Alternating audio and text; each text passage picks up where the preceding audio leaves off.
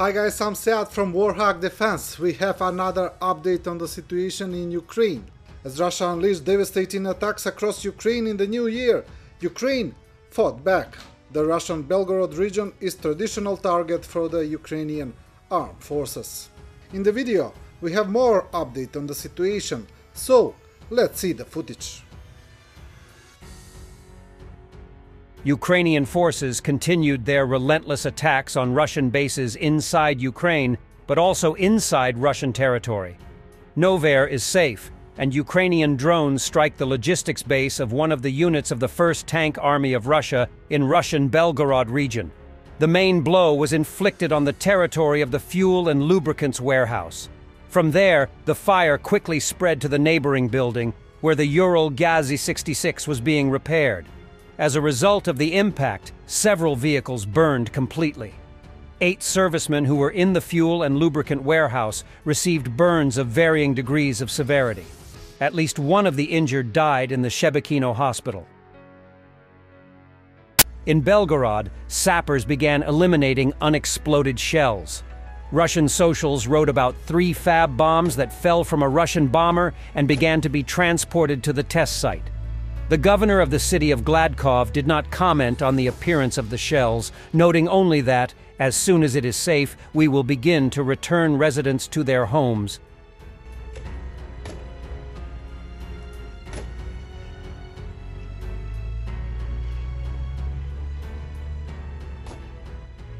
This are the remains of the main parts of the 300mm MLRS Vilkha missiles and the unexploded 9H235 cartridges that fill them were found in Belgorod.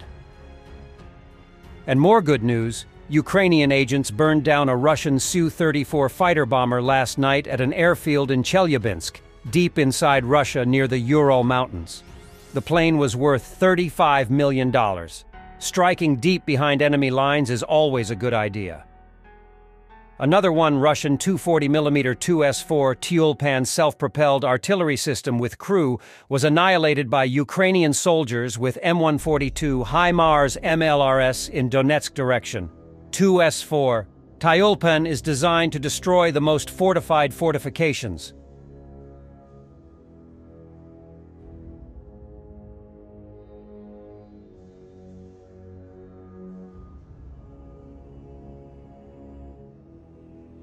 Let's continue.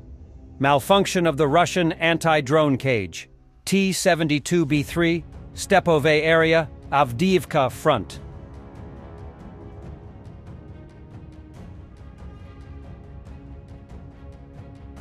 And after massive Russian strikes on Ukrainian infrastructure, Ukrainian guerrilla is showing that two can play that game.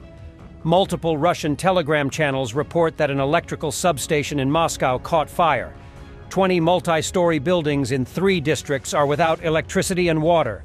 It was 16 degrees Fahrenheit in Moscow at the time of the attack.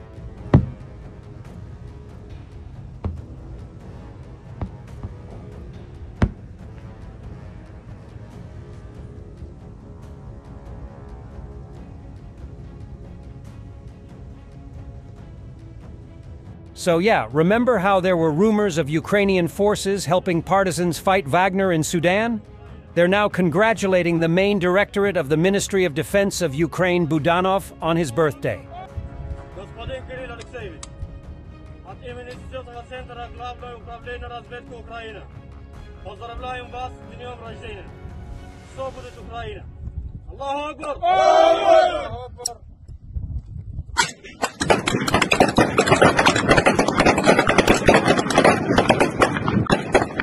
2023 was the year of relentless Russian terrorism. 2024 will be the year we defeat the terrorists.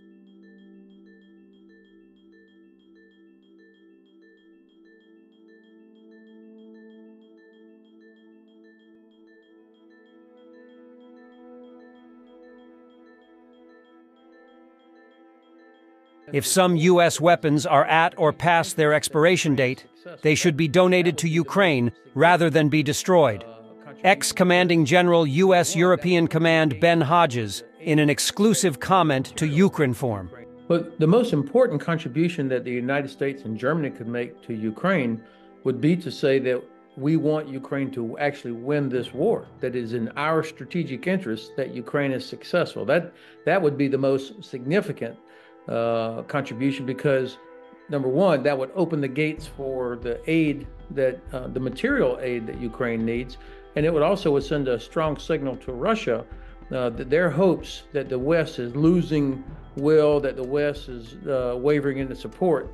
The Russian hopes for that would be shattered and so that their their war of attrition strategy um, is going to fail. In terms of material contributions, there is of course no one weapon or one platform that would that would change everything. It's a combination of air, land, and sea power.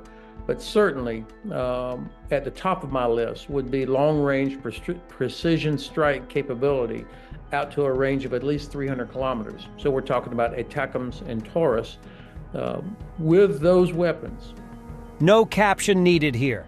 That's the second time he meets his son after his birth.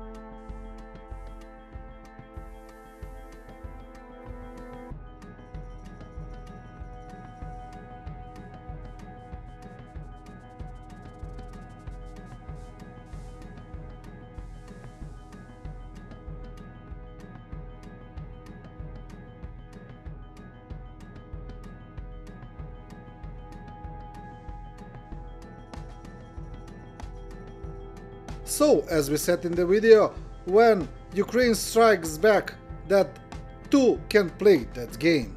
Stay with Warthog Defense for more updates, comment, like, subscribe, and of course, stay strong.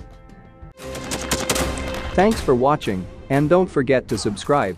Also, if you want to support Warthog Defense, please become our member and get early access to new videos, exclusive members-only videos, and become administrator in comment section.